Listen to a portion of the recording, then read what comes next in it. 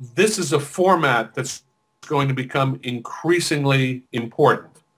Now, um, you can read a Shakespeare play or you can read um, um, a novel on your phone if you want to. I don't find it to be a particularly um, good uh, format for doing that.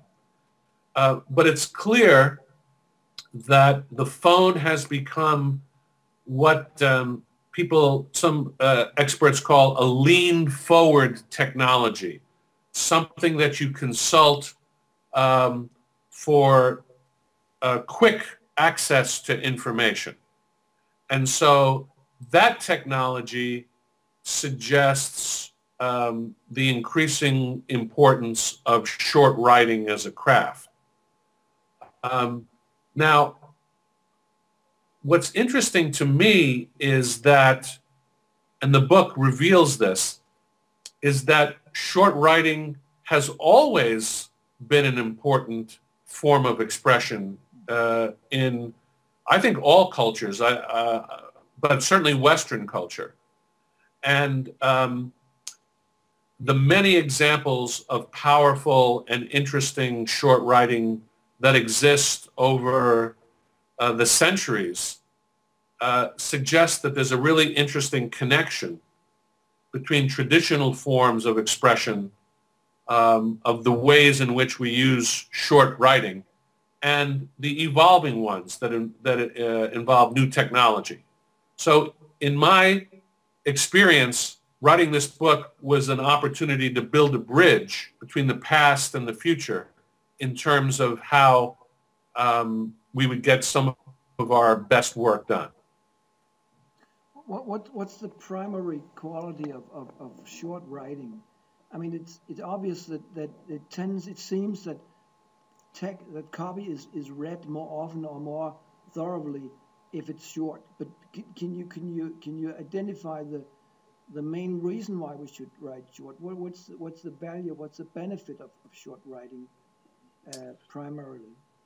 Well, the, um, I think there are four. I was going to say three reasons. I was going to say three, but I think I'm going to add a fourth. Okay. okay. So the first thing that short writing does is that it captures focus more than any other style of writing. If, if I ask you um, what Shakespeare's play Hamlet is about, uh, I picked one that's set in Denmark, by, by the way. Thank you. Um, it's about many things. It's, a, it's about many, many things, and it has very complicated themes. But if, I, if we would look at, at one of Shakespeare's sonnets, one of his 14-line poems, and we could say, well, what's that about? Very often it's about one sharp thing. So short writing is the best way, in a sense, to make your point and to clear all the unessential elements out of it. Okay. The second thing about short writing is it has focus.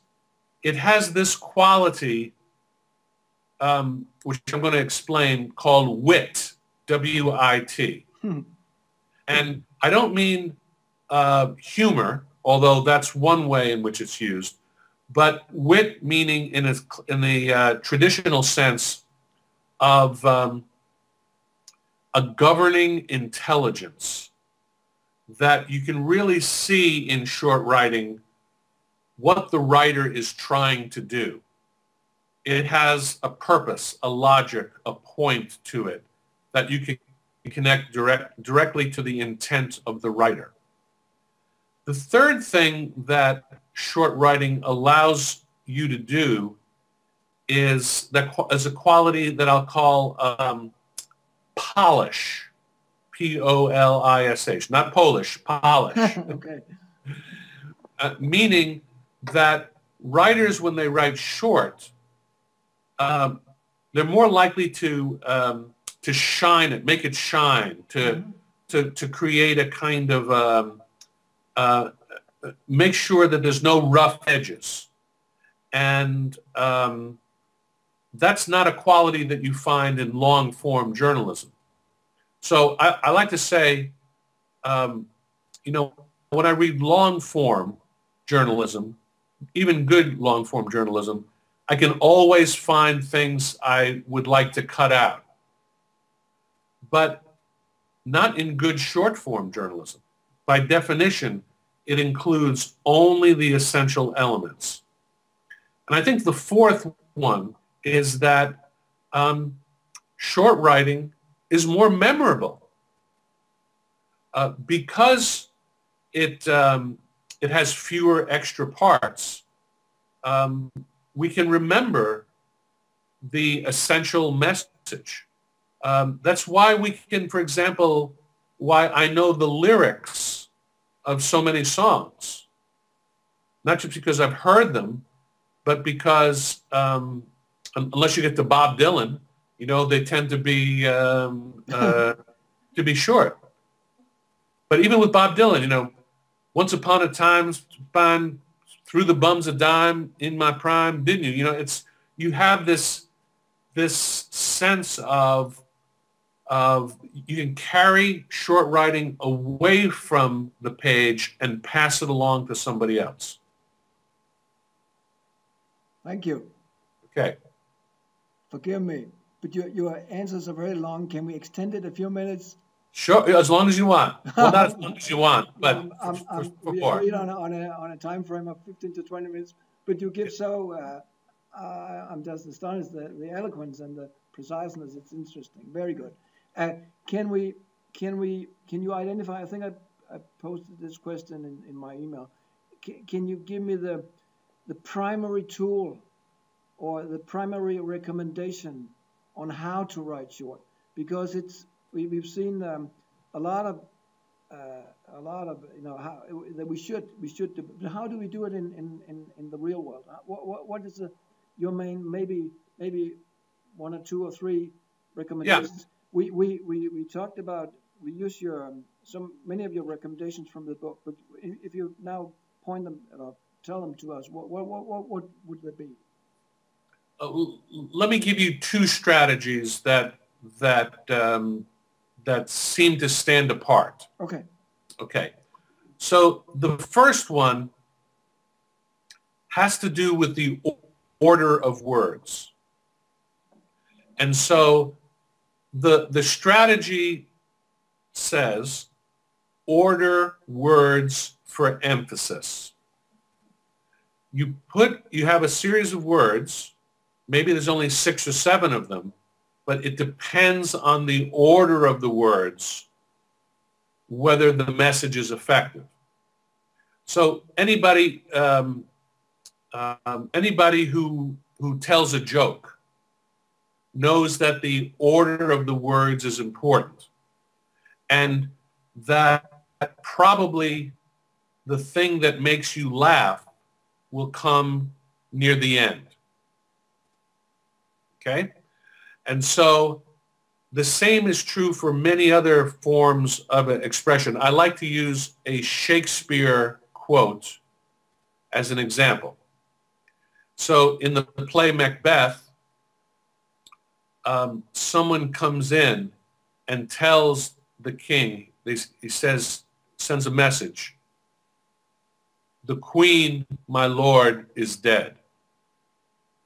And what I think is, is telling about that sentence is that the most important words come at the beginning, queen, and at the end, dead. And the least important word, my lord, is tucked in the middle. The queen, my lord, is dead. If the messenger had said, the queen is dead, my lord, um, he would not have taken advantage of the end of the sentence as that place where you you deliver the key word. Hmm. And so when I'm writing for Twitter, uh, one of the reasons I think I, I think that I've been able to develop a style of short writing for Twitter and Facebook is because I'm very, very conscious that I have just a few words to work with. But even there, I'm going to build to something. I'm going to put something at the beginning that interests you, but at the end, next to the period, I'm going to put something that sticks out that you're going to remember.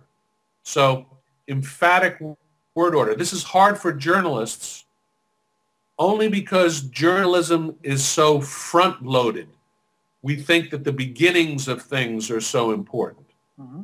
But to balance that, especially in, uh, in let's say, um, in a summary of a story that's only uh, 20 words, to make sure, I think I call it in the book a target, hitting your target, okay. where you know, the arrow travels from the first word and then hits the target at the end. And I, I think this works in Danish as well, uh, if I'm not mistaken. I mean, I, I have, I've, I've, had this conversation with Danes and, and it says, yes, this is a strategy that works um, better in some languages than others, but uh, that is effective. So that's, that, that would be one of the strategies. Mm-hmm. Um, I have uh, a second one. Uh, can I give that one now? now? Can I share that now? Please. Okay.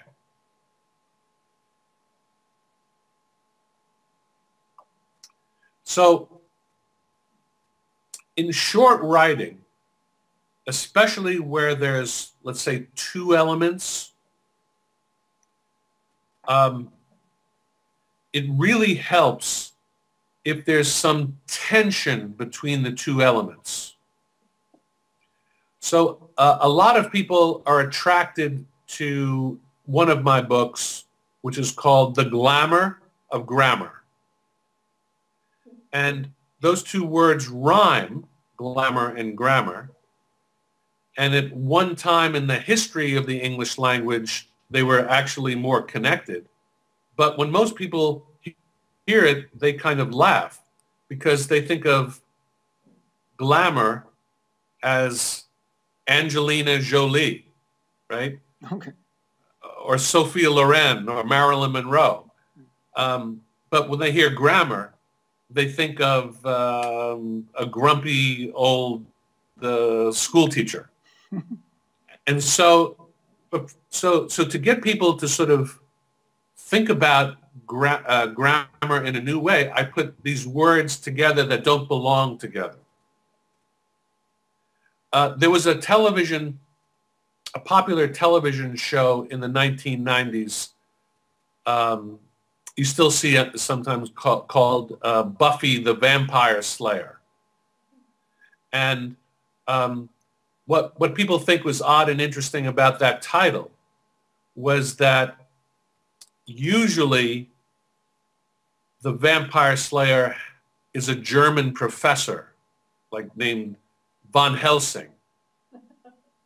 But here it's the name of a 16-year-old California high school girl who is the savior of the universe. Those two things don't belong together. They kind of bump into each other. And I now think this is true in all forms of expression, in music, in dance, in the, the visual arts. A good photograph, compelling photograph. I saw one. It had a Japanese sumo wrestler holding a little baby who was wearing a diaper. And they looked like they were both wearing diapers, but yeah. the, the, the huge wrestler and the tiny baby and the tension between the two. Yeah. So if you begin with emphatic word order and then look for points of tension, a little, little rub, little friction. Um, that I think attracts people um, in lots of ways. Yeah. We, we have a, a long discussion at this, at this seminar about is there a contradiction be, between long and short writing? I mean, in terms of the length of articles, in terms of the length of information copy on the internet. Um, is it both or is it either or?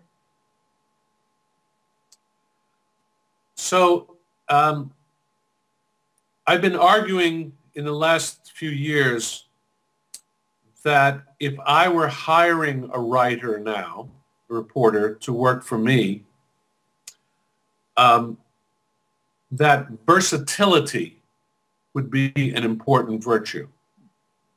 So I, I want a writer who is able to write slowly mm. and long in long form. And I want that same writer to be able to write quickly and in short form. So for me, it's a matter of um, multiple purposes, multiple audiences, mm. multiple platforms. Um, I want to give you an example. Please. So about a year ago, I wrote an essay for the New York Times um, about the power of the short sentence. When people hear a short sentence or read a short sentence, they treat it as if it's the gospel truth. There's a sort of, a, it carries the weight, uh, it, it has the ring of truth to it. So the version I wrote was 1,200 words long.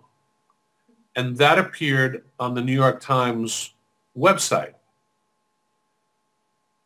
But that was too long for the, the newspaper, the actual page of the newspaper. Okay. So I wanted it to appear in the newspaper as well. So I talked to the editor and she said, can you give me a 600 word version? I said, yes, I can. So I gave her a 1,200 word version that appeared on the website, gave her a 600 word version that appeared um, in the newspaper. Um, for the Pointer blog, I did a 300 word version. And then for Facebook and Twitter, uh, I did a 140 uh, character uh, version. Actually, with Twitter, what I did was uh, I wrote three or four different tweets, which captured very different aspects. So, like, even a very, very long novel, even a novel of a thousand words, can have a title which is War and Peace. So even in our traditional forms of journalism, we know that there have always been short forms that are um, very, very important to the task of communicating the news. The headline, the subheadline, the summary. Um, I don't know what you call it, the, the, with a photograph, like a caption or a description yes. photograph. Bildertext. Okay, there you go. So um, this is um, so. So for, in my purposes, um, I'm I'm rarely choosing. Uh, so so I rarely uh, think of writing in terms of right and wrong. Uh, I, I think of it in terms of what's the best way for expressing what I want to say for the audience that needs to hear it. And now I have many different tools with which I can do that. Sure. And look, uh, and part of this, I should say, I wrote a book about short writing, uh, which people think is a contradiction since the book is usually long. It's funny. yeah, but in fact, uh, it's the shorter ver, um, uh, shorter forms of writing that sometimes grow into bigger things. And uh, that's the way I tend to write books, is that today um, I'm going to be working on a chapter for a book, but if I write one page a day, at the end of a year, I'll have a book. And, and almost no one writes a book a year. So um, that's the way I kind of um, think of these two, these different forms of writing and language as, as being in harmony rather than in conflict with each other.